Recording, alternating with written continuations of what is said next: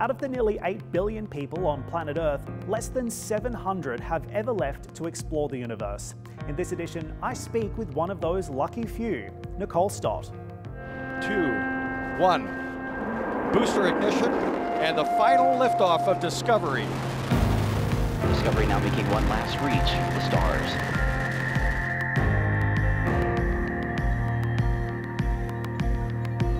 Nicole Stott spent 104 days in space as both a crew member of the International Space Station and on board the now retired Space Shuttle. We're doing really well. They've been following instructions exceptionally well today as I boss them around. Her journey into orbit began back in 2000 when she was accepted into NASA's astronaut program, but it took nine years of training before her first launch on a trip that took her to her home for three months, the ISS. During that time, she conducted research and performed vital work to maintain the station's functions, and she undertook a near seven hour spacewalk. And Nicole Stott moves out of the Quest airlock to begin her first spacewalk. She also found time to complete a watercolor painting inspired by what she saw. Back on Earth, her love of art has taken her in a new direction.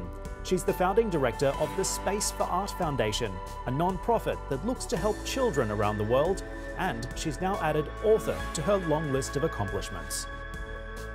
Your book is called Back to Earth What Life in Space Taught Me About Our Home Planet and Our Mission to Protect It. So I'm keen to know what has life in space taught you about life back at home?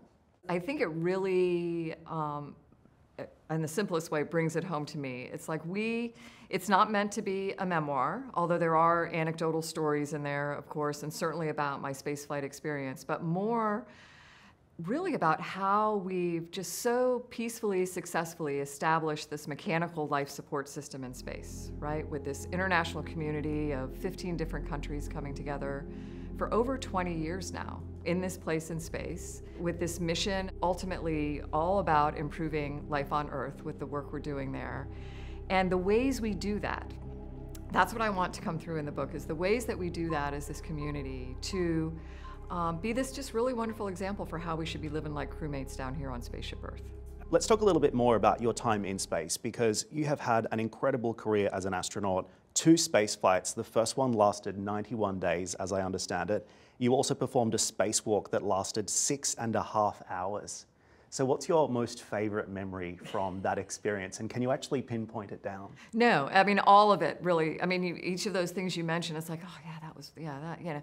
I mean, the whole thing kind of wraps up, even both flights all together kind of wrap up into this memory, this really wonderful memory. And, you know, there's certainly the the unique things about that environment. You know, getting to float. You know, pushing gently on your chair and moving in three dimensions, and just this liberating feeling of flying from one end of the space station to the other, and uh, you know, the work that we're doing there as this international community, which. Um, I mean, I think people would be in awe of the fact that there's hundreds of experiments going on every day in pretty much every area of science you can imagine again, all of it with this overarching goal of improving life on Earth. And then, you know, then find yourself with your crew in front of the window looking out, you know, back towards Earth. And that is just this reality check of, oh my gosh, we live on a planet. You know, that kind of thing that we learn in kindergarten and somehow don't keep active in our brains every day. And holy moly, we're all Earthlings. And wow, the only border that matters, that thin blue line of atmosphere. And that, I think, then drives you to this idea of, wow, I really do need to behave like a crewmate when I'm down on that place too, not just on this mechanical life support system. Extraordinary. And it's a very simple question, but a very human question as well. Did you ever get scared or nervous while you were up there? I don't think I uh, scared uh, or afraid those I don't remember those feelings. But I mean, I remember from, you know, sitting on the launch pad all the way through, you know, landing, just this awareness, this anxiousness of, oh my gosh, what's it going to feel like? I've trained so long for this.